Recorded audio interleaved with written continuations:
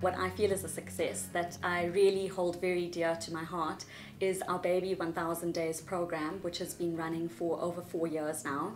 What we've done in that program is uh, taken a group of women uh, who were previously uh, unemployed and HIV positive um, and put them through an incredible skills development program where they now sew nappy bags for us. We've combined that with uh, the fact that we have health workers in clinics. Uh, these health workers, uh, you know, quite early on in the program realized that there were a number of uh, women that go to hospitals at the point of labor without a single item for their babies. Um, so we realized that there was an opportunity for us to call out to more privileged mothers to donate um, items for the first two and a half years of a baby's life into these beautiful boxes that we've put in Baby City stores countrywide.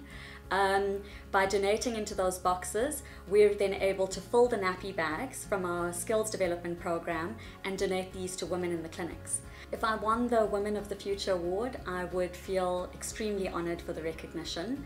Uh, for me, uh, winning that award would really be a win for our entire team, who are mostly young, very dynamic, passionate women. Uh, to me, they are the women of the future.